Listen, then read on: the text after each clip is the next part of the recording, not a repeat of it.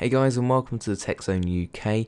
In this video I'm going to be showing you a great uh, program or web application called Ninite.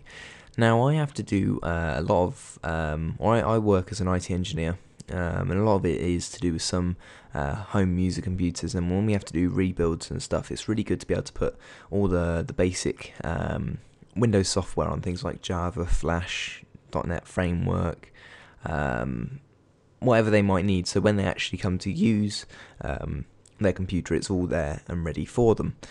Now, there's a great website called ninite.com. That's N I N I T E.com. As you can see, there's the link just there.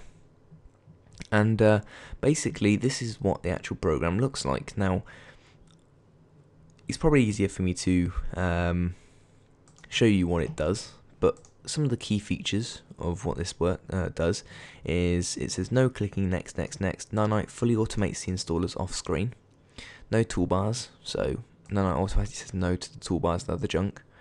Always up to date so Ninite will download all the up to date files no matter where they're from.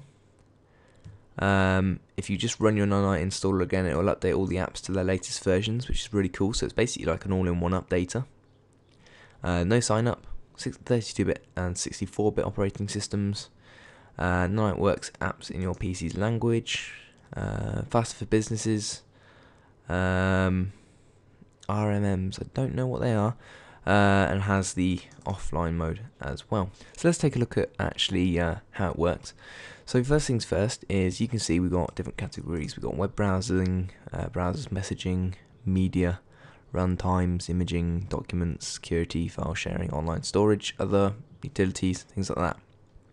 So today I'm going to show you um, how to actually use this program and how you can download all the software. So when I do a rebuild at work, I'll tick things like Google Chrome, Firefox, Skype, iTunes, K-Lite, um, Audacity. I'll tick all these um, other great ones, Picasa, that's an absolutely brilliant program there. Um, Adobe Reader and CutePDF. PDF PDF Creator and CutePDF are virtually the same thing. Um, Malwarebytes, don't need torrenting. You, depending on the customer, we can obviously if they use Dropbox or Google Drive or anything like that, we can put that back on easily here. Um, if they're gamers, then Steam. Google Earth is definitely one we put on there. Uh, Team Viewer. Uh, what else do we put on there? Glary, great program. Uh, WinRAR optional sometimes. And no, that's pretty much it on some of the builds that we put on. But uh, I think that's the right ones. Where are we? Yeah, that's right. So once you've selected all the programs that you want to have in the installer, all you do is you scroll down to the bottom here and it says get installer. So we click on that as you can see here, it shows you all the applications that you've downloaded. So it says this installer includes .NET Framework, Air, Audacity, Chrome, CutePDF, Firefox, Flash, uh, Glary, Google Earth, blah blah blah. And you have the option to change the apps as well. But obviously we don't need to change the apps here. So all to do is I'm going to click on the download. If it didn't download, just hit on retry the download there. So we're going to click on that. And as you can see, it says, do you want to run this file? So I'm going to hit yes and this is preparing setup. And if the user account control comes up just hit yes.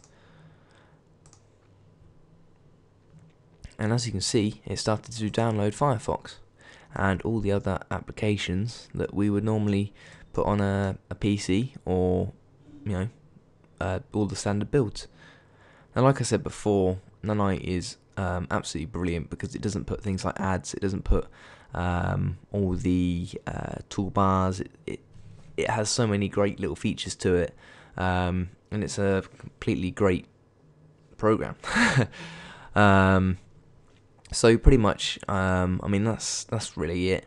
If you need it, if you want to give them feedback, do because it's a great program and it works so well, and it automatically will download and install Firefox and do it all with these programs.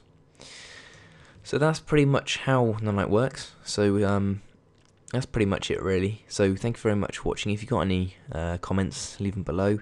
If you enjoyed this video or found this tool useful, subscribe because then when I release new videos with new tools and tricks and things like that, you'll be notified.